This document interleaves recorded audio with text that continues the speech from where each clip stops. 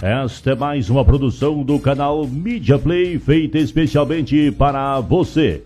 Continue assistindo a este conteúdo que produzimos com muito carinho aos nossos queridos visitantes.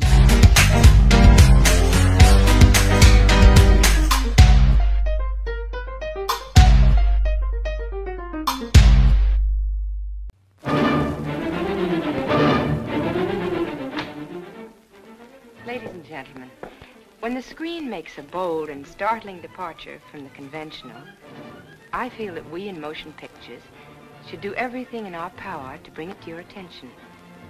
I've just seen Gregory Peck in The Gunfighter, a picture and a character utterly unlike anything ever brought to the screen.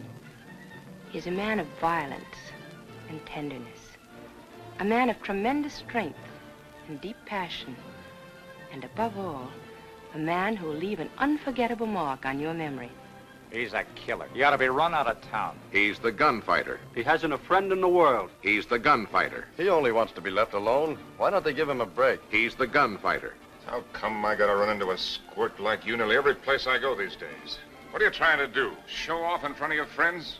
Are you ready to back up that remark or not? Eddie don't mean no real harm, Mr. Ringo.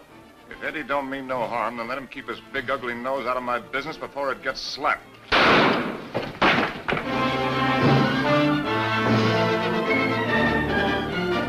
Fine life, ain't it? Just trying to stay alive. Not really living, not enjoying anything, not getting anywhere. Just trying to keep from getting killed.